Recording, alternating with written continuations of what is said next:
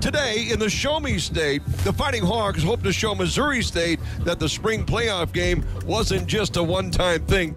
This is a big one here with this opportunity today. Green means go as Brady Stevens approaches the football here.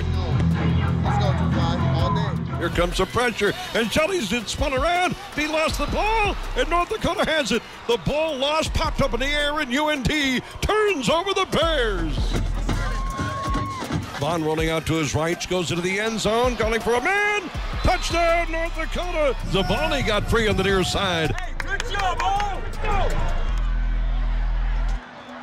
Otis Weah is in his third touchdown of the game, and North Dakota has opened up a two-score lead. It's not over yet. One more first down, they'll be able to get in victory formation.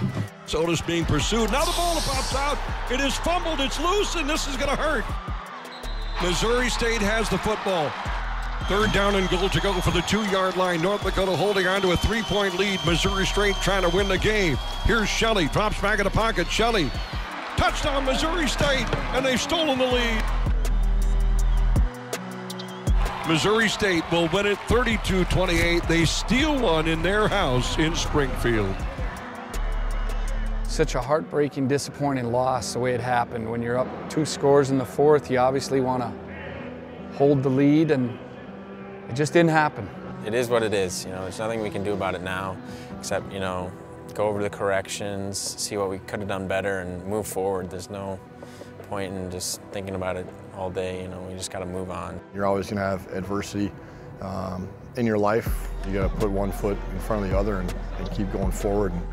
It's easy when things are going well for you, and it's tough right now to be great in November. But we're going to challenge our guys and and ourselves to do that. Tell our team all the time, once we go through experiences, if we learn from those, we're, we're going to get better because of it. Let's go, Hayden. Jason. Come on, Evan. Got to be into it. Let's go. I'm Evan Holm. I'm from Edina, Minnesota, and I'm a senior cornerback for UND. Here we go. Let's go, let's go, let's go. I think it was 2016. I came up for one of the camps in the summer, and I did well at the camp, and then I ended up getting an offer, um, and that was my first offer, I believe. And um, I committed uh, right away and kind of just kept with that offer. Yeah, you know, I think Coach Kostic did a great job developing a relationship with Evan and the family, and we were playing on the West Coast at that time, and we were selling a different story here, you know, about our institution, and we wanted him to be a part of it because we felt he was really a good fit, and we were really pleased to get that commitment. It was just really cool to come onto a team that just had some success right away. Um, nine and two football season. After starting 0-2, it was really cool to see how the team bounced back from that. You know, I didn't play a whole lot, but when I did, it was just kind of nice to be out there with some really good players. I got to learn from, you know, some good corners and safeties, and um, just being more comfortable out there. I used to get nervous before games, and I still do, but not not as much. I'm more excited and kind of just ready to play, and just feel really calm out there, which is kind of nice to have. You know, he's been a really solid player for us. A little bit of a checkered uh, career because of health, but uh, great to see him these last two seasons really playing some of his best football, you know, and he's made some big plays. Uh, that always sticks out when you think of players, the kickoff return that uh, against Weber State. Evan Holm takes this kickoff at the one.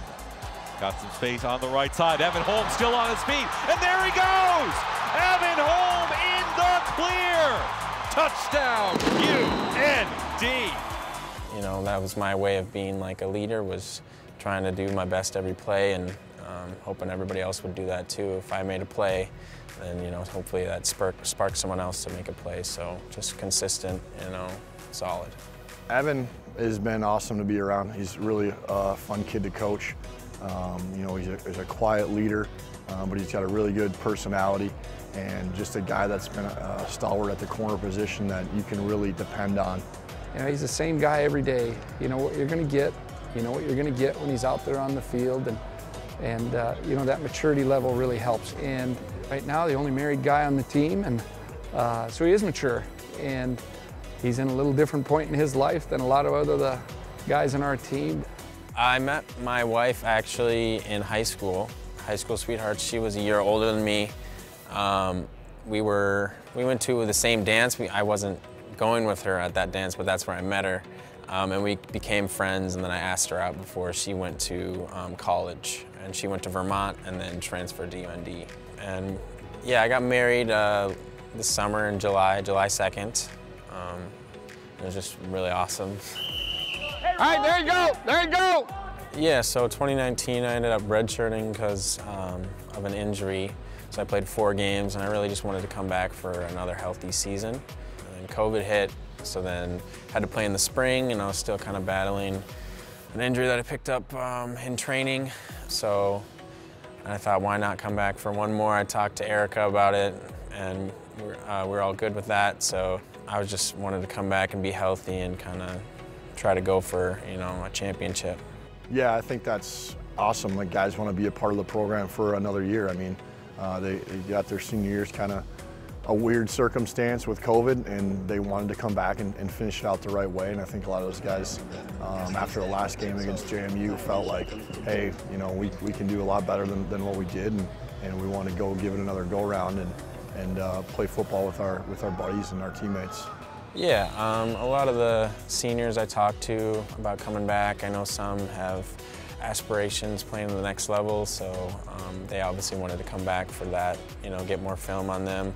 And then a lot of people just, you know, want to play football again and it might be their last opportunity. And we only got seven games in the spring, so just having that next chance to come and play and also get to hang out, you know, every day with them. Yeah, you know, that's the hard part about coaching college football, the relationships that you build and it seems like they're here a long time, but really goes by fast. And you're gonna miss those people. I'll miss Evan, but you know, really excited for his future and, and what his future holds for him. I just think he's an awesome person and has a bright future. Yeah, every year you, when the seniors leave, it's always um, different, but um, as you're a coach, you understand that's the way it goes. You know, you got to get the next guys ready and, and you hope to see those guys back for homecoming and, and hang out with them then. But um, you know, they put their time in, and they're they're valued uh, now valued alums. I'll definitely miss just having the opportunity to compete every day. Um, I like football a lot. Um, some of the other stuff is kind of gets to be a grind, but the, the, the, best part is being able to compete against um, really good individuals, especially on other teams, but not also on our team. So just being able to come out and kind of give your best every day and you get to exercise and, and just kind of feel good out there um, is probably what I'll, I'll, miss most. And also miss kind of the coaches and the camaraderie with the team and just kind of joking around, messing around, you know. I probably won't remember, you know, all those missed plays or made plays, but I'll remember just joking around with the guys and, you know, having fun after practice, before practice, in the locker room. So I'll definitely miss that.